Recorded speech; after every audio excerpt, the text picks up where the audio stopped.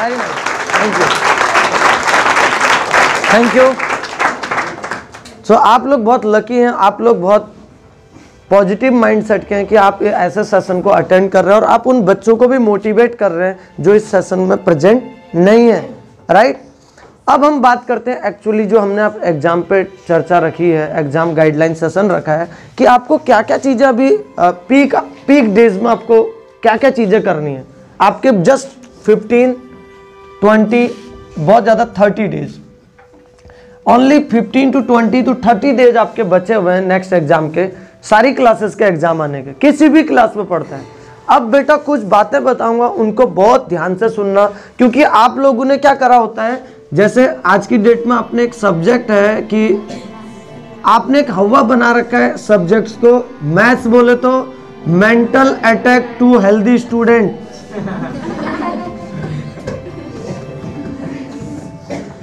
mental attack to maths बोलते ही एक अटैक आ जाता है। अच्छा खासा बच्चा होता है, दिमाग सही है, हाथ है, पैर है हेल्दी है एकदम। पर मैथ्स बोलते ही एक अटैक और मैथ्स ओ बॉय गॉड क्या हो गया? एक अटैक आ जाता है उसको। एक पहला अटैक हो जाता है मैथ्स ऐसे ही आप किसी और सब्जेक्ट को भी ले सकते हैं। पोल साइंस बोलते तो उसका दिमाग गोल हो जाता है। है ना? पोल साइंस बोला तो दिमाग गोल होने लग जाता है। वो हिस्ट्री बोलते तो अपने हिस्ट्री में चले जाता है। मेरा जन्म कब हुआ था? मैं कौन से जगह रहता? वो पूरा अपने, जैसे हिस्ट्री बोलते हैं कि हिस्ट्री पास्ट के बारे में बताता है, उसका सारा अपना पास्ट बाहर निकल जाता है। मेरा तो पास्ट ये था, इसका जो भी था वो अलग बात है। मेरे को अपना ही पास्ट समझ नहीं आया तो इसका क्या समझ आएगा? वो सिंपल सी बात, आप लोग अपना ही पास्ट याद नहीं रख पाते हैं तो वो किताब में तो हड़प्पा का पास्ट इसका पास्ट वो कैसे आप रखेंगे पास्ट याद? आप लोगों को अपना ही पास्ट याद नहीं रहता है। अगर क्यों बोला मैंने ऐसे रहता नहीं है? अगर आपको अपना पास्ट याद हो ना बेटा तो आप ऐसी हरकतें करो ही ना। मैं एक लाइन हमेशा हर किसी पर्सन को बोलता हूँ, ज़िंदगी में अपना पास्ट नहीं भूलना चाहिए, और प्रेजेंट में कहाँ है, इस सिचुएशन को देखते रहना चाहिए, और मुझे जाना कहाँ है फ्यूचर मेरा कहाँ है। इन तीन चीज़ों को अगर आप ध्यान रखोगे ना, कभी भी लाइफ में डिस्ट्रैक्ट हो ही नहीं सकते आप। आप लोग डिस्ट्रैक्शन में क्यों आते हो पता है? आप अपना पास्ट भूल जाते हो। आप दो पैसे आने के बाद क्यों उतराने लग जाते हो? पता, आप अपना पास्ट भूल जाते हो कि एक दिन में फटी पैंट पहन के भी घूमता था। एक दिन में दो रुपए के लिए भी तरसता था। वो दिन भूल जाते हो आप। कहते ना, आजकल माँ बाप भी बोलते बेटा, हमारे हमें अपने दिन नहीं भूलने चाहिए। आपको आपके माँ बाप कई बार कहानियाँ बताते होंगे, बेटा, पहले हमारी सिचुएशन इतनी ख़राब थी, जब आए थे दिल्ली तो हमारे पास रहने को नहीं था, खाने को नहीं था। बताते हैं आपको कई बार। या वो अपने समय की बात बताते बेटा, तुम्हें तो इतना कुछ मिल रहा है। हमारे टाइम पे तो हमें पढ़ने को खाने पीने को दो वक्त भी नहीं मिलता था। तो हम लोग अपने प्रेजेंट में क्यों ज़्यादा डिस्ट्रैक्ट रहते हैं पता? हम अपना रास्ता बदल देते हैं। हम डिस्ट्रैक्शन में आ जाते हैं। इसको बोलते हैं डिस्ट्रैक्शन हम अपना ट्रैक बदल देते हैं। रीज़न पता है? हम अपना पास्ट भूल जाते हैं।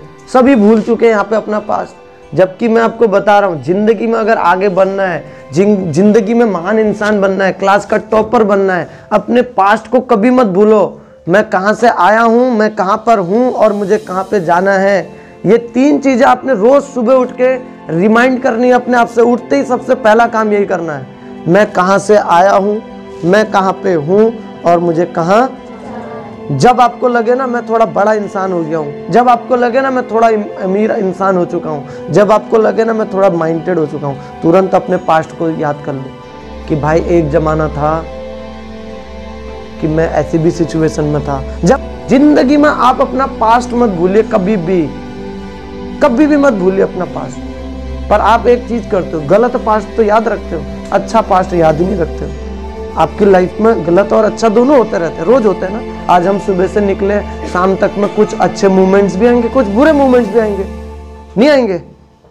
कहीं पे आपको बहुत अच्छा भी लगेगा, कभी आपको बहुत खुशी भी होगी, कहीं पे बहुत इमोशनल सीन भी होगा।